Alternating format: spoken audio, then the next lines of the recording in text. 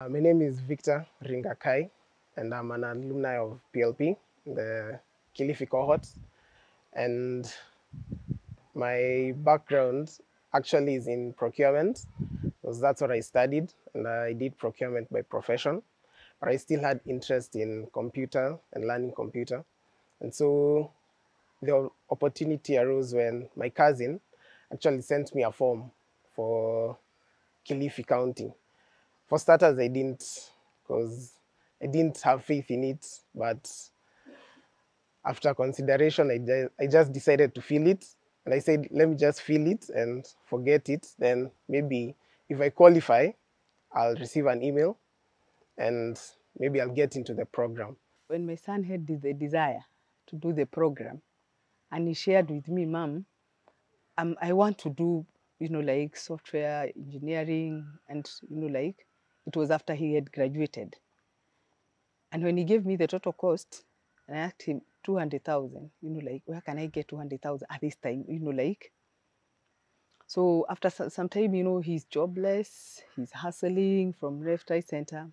After a couple of weeks, I received an email that I had gotten into the PLP scholarship, and we had to come for the launch in Kilifi County at Pwani University. So even when in the launch, I still uh, I was not yet sold on it. Uh, the reason I didn't believe in it was because I'd already applied for so many things.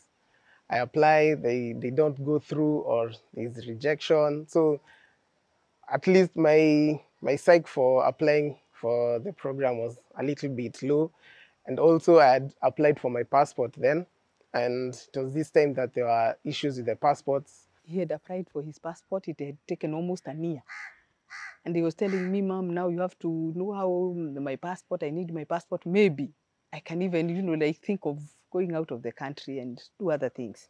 He was a bit hesitant, but once he applied and then they were called for the launch, uh, again he was a bit, uh, do I come or do I not come? Uh, are you sure we are going to gain anything in this? So I told him, no, uh, just come. Uh, you never know. You have nothing to lose after all.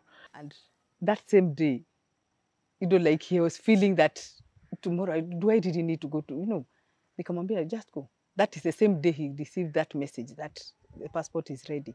And I told him, yes, I told you, you never know, there might be an exchange program. Knowing that our county, you know, like it's a tourist town, you know, town, Malindi is a tourist town. Our governor has been up and about doing things about the county. So I- you know, I told him just give it a try, and that is it. That's how he started. So when this um, program uh, came, we said, after all, if we are to pay, then it is a lot of money. This is an opportunity, a scholarship that will not pay anything. In any case, uh, you, be, be, you might be among the few that may be able to, to, to get into the program. So he came. once i attended the launch uh, they explained how the program will be and from the onboarding stage i saw that the instructors and all the people who were involved were very engaging actually the communication that you are receiving so we joined the channels that were offered on telegram whatsapp and also the emails that you are receiving so i really saw that it was actually something serious and people had put a lot of thought into it and partnering with the Kilifi County government also to reach even wider people. I think it was a very good idea. And this is a program that he used to tell us this is a program you cannot do if you do not have a laptop. You cannot do it on phone. You must have a laptop and you must have data. to access data to be able to join the classes because they are online and also at that time uh, only the only they were only offering the evening classes so i had to find time that in the evening and make sure that i've arrived at least i'm somewhere where i have a laptop and at least i have data to be able to join the classes because they are happening in the evening so that was also the challenging part for me uh, within a few weeks, we asked him how it was going, and he said he is really enjoying it. And uh, he realized that um, actually, uh, what the, the, the he'll get what he wants because he's into web development and they're offering that.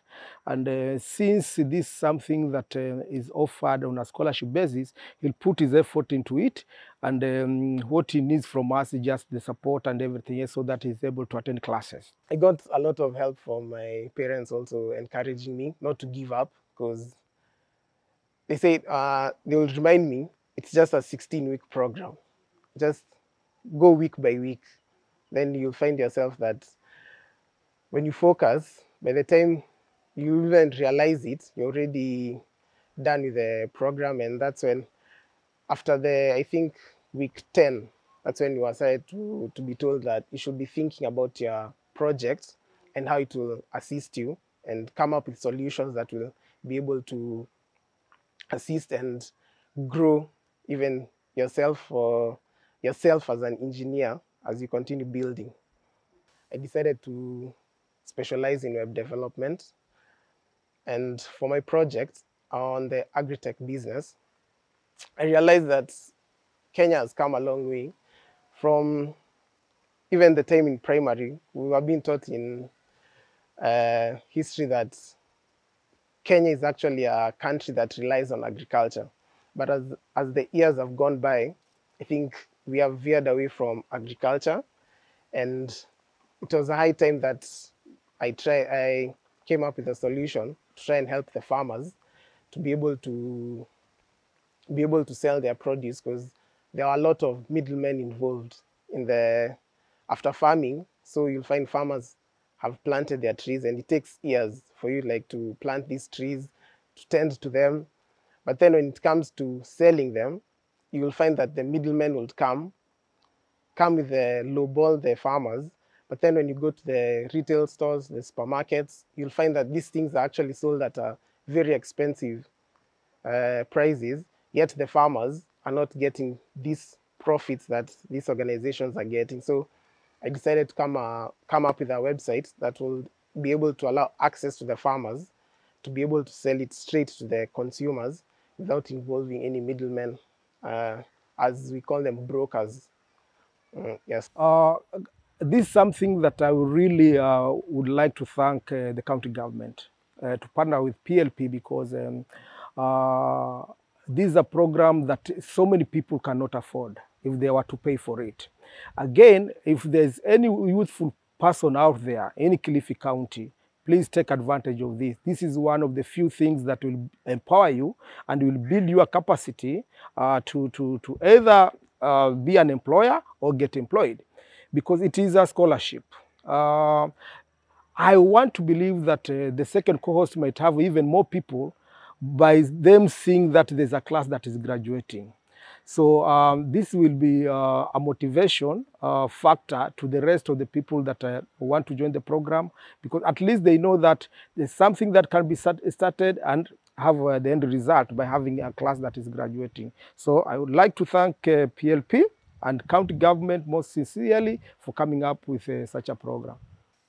For anyone out there who's trying to get into tech, I would really encourage them for this PLP scholarship because it's a scholarship.